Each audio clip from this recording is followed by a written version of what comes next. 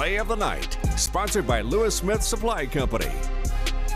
All right, Uncle Rink, it's now play of the night. We had to choose from these, and it's Bulldogs driving, and that is prize recruit Emmanuel Henderson gets that hand up, breaks a tackle, touchdown. All right, folks, that's a Oh, look. yeah.